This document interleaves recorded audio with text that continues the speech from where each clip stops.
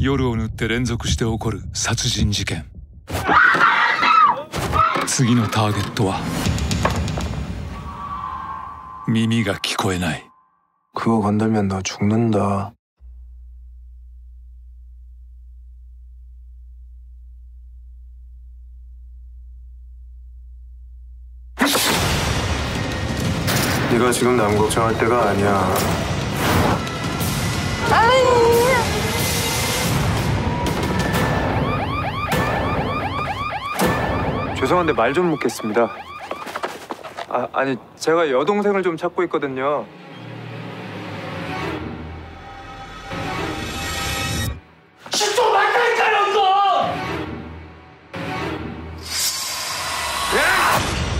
너 뭐냐? 네 동생 수시놈.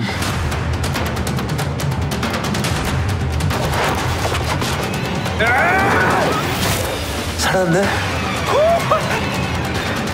想像を超える結末があなたを待ち受ける。殺人鬼から逃げる夜。